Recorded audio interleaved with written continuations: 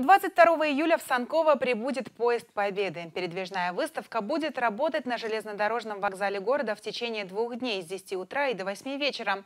Чтобы посетить экспозицию, необходимо пройти регистрацию и оформить бесплатный билет на официальном сайте проекта. Поезд Победы – первая в мире иммерсивная инсталляция, размещенная в подвижном составе поезда.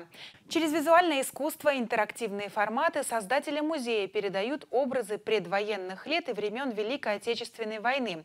В этом году интерактивную часть экспозиции дополнила кинохроника, которая рассказывает современному зрителю об одном из самых страшных явлений – расправах над жителями Украины, совершенных националистами по указанию немецких оккупантов.